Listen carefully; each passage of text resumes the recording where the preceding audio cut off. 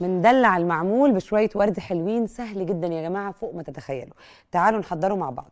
عندي 200 جرام زبدة مرهمية شايفين إيه مرهمية؟ يعني بدرجه حرارة الغرفة زي الجبنة الكريمي. هحط 200 جرام زبدة ودول الصباع الزبدة عادة بالسوق بيبقى 200 جرام على بعضه والزبدة كلها بيبقى مكتوب عليها في أغلب الأوقات بالورقة من ورا خلوا بالكم أنتوا بتفتحوها هتلاقوا مكتوب متقسمة 25 25 آه وتقدروا تعرفوا الوزن من غير ما توزنوها. هنحط لهم ربع كوباية سكر بودرة أسهل معمول ممكن تعملوه هو ما بين الغريبة والمعمول. دي الجبنة الكريمي الشهيرة المكعبات هنحط ست مكعبات وهنهرس كل الكلام ده كده. مش محتاجين حتى عجان لأنه كله بدرجة حرارة الغرفة. بطريهم كويس. طلعهم. أهو أنا مستخدمة بس مضرب سلك من الجامدين اللي هو حديد شوية ماسك نفسه ما بتنيش بسرعة. بيسهل لي العملية دي. بضربهم. وبعدين بحط كوبايتين دقيق. في أسهل من كده. بخلي كمان ده جنبي فيه دقيق علشان لو طلعت طرية هوريكم إمتى بس نعرف إنها جاهزة. آه نزود كده دقيق على الخفيف. وفي طبق جنبي فيه دقيق علشان لما نيجي نحطها بالقالب. هي النهارده سميتها معمول من شكلها أكتر من طعمها. هو طعمها قريبه دايبة كده بالذات الجبنة الكريمي. بتديها texture حلوة قوي كده richness حلو. اذا حطينا 200 جرام زبدة احفظوها بسرعة.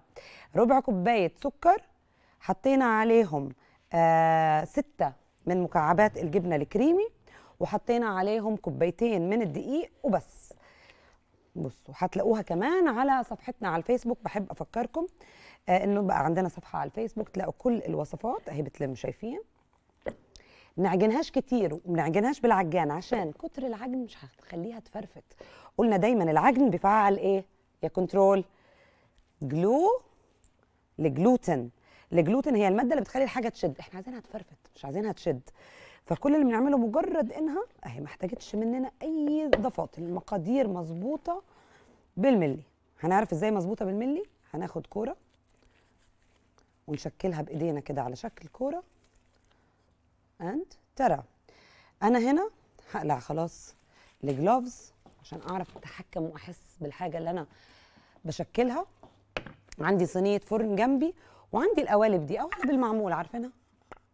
إحنا ممكن نشكل من غير قوالب. ممكن آه بالملقاط بتاع الكحك ممكن نشكلها على شكل كورة عادي جدا. بس أنا اخترت الشكل الحلو ده. كل اللي هعمله إني هعمل كده. آخد الكورة دي بالدقيق شوية. شايفين غطستها كده بالدقيق وبفتحها كده. شايفين سهلة إزاي بالتشكيل. الحشوة اللي تحبوها. النهارده هاخد ده مربى البلح اللي حضرناه.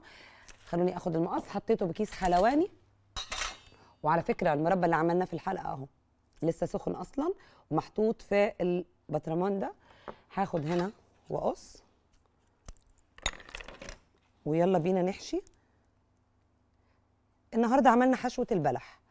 ممكن تحطوا مربى فراولة ممكن تحطوا مربى المانجا ممكن تحطوا أي مربى أنتوا عايزينه. أنا زودت بس شوية الحشوة. مش عايزاها تطلع كتيرة فتطلع من القطع. هقلل شوية عشان أعرف أقفلها كويس. أهو. نقفلها. وإحنا حطينا لها شوية دقيق فبنحطها هنا ونضغط عليها. هاتوا نعمل واحدة تانية. بنشكلها. آه اللحمة اللي بالفرن بيسألوني الكنترول قدامها قد إيه؟ سيبوها ساعة. ممكن في المرحلة دي بعد ما اديناها غلوة قوية نوطي الحرارة. إحنا ممكن نبص عليها سريعا. بصوا بتغلي إزاي؟ شايفينها بتتشكشك إزاي؟ لسه لونها مغمقش والصوص ابتدت تتقل شوية من الدقيق. إحنا هنغطيها ونوطي النار شوية مثلا على 170 ونسيبها. تاخد ساعة تاخد قد ما تاخد لحد ما اللحمة تدوب. نرجع هنا تاني. بنشكل القطعة دي. حاولوا ما ترفعوش. يعني أنا ساعات لما برفعها غصب عني باخد قطعة كده بحطها هنا عشان لما نيجي نحطها في القالب الحشوة ما تطلعش من العجينة. نحط شوية من الحشوة نقفل عليها. آه بتفكرني بنوع من الحلويات كنت باكله في الدول الآسيوية. كانوا بيحطوا فيه مربى مانجو مربى مشمش.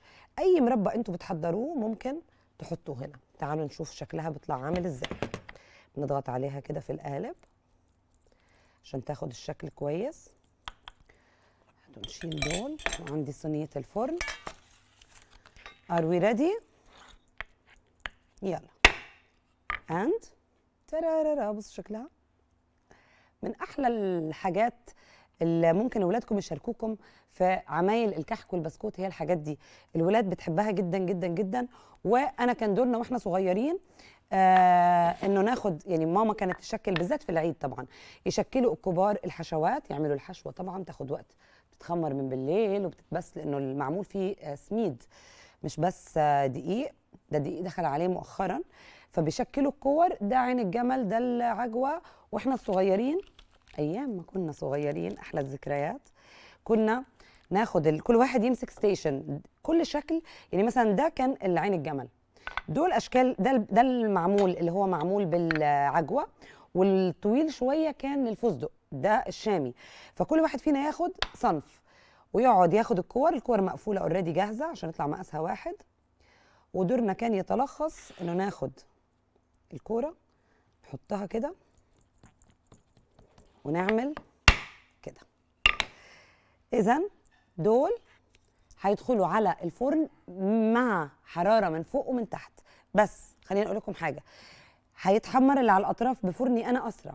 فرنك انت اللي قدام دايما الصينية نلفها ونتأكد إنه كله بياخد الحرارة صح وبعدين اللي استوت نشيلها.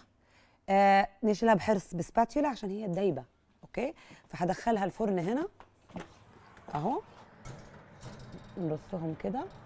أنتوا هتعملوا الكمية كلها وعنا عليهم. أنا النهارده قبل الحلقة آه وأنا بحضرهم ما رضيتش أروح أجهز وأخلص آه أبقى إني جاهزة أطلع لكم على الهوا بعد ما حضرت المطبخ إلا لما أشرفت على دول بعيني. لأنه واحدة اتحمرت لفتها من الناحية دي. عيني عليهم. الخبز بالذات في الأفران دي وقت العيد تلاقيه دايما بيقلب الصينية وبتطلع معانا تعالوا نفتح واحدة كمان بالشكل الحلو ده. بكل سهولة. خدت وقت قد إيه؟ 10 ل 15 دقيقة من يعني بعد 10 دقائق بنبتدي نطلع أول واحدة ونلف الصينية أو نعمل كده. بصوا. في أحلى وأبسط من كده. perfect الحشوة اللي تحبوها. أضافت إيه؟ الجبنة الكيري الكريمي.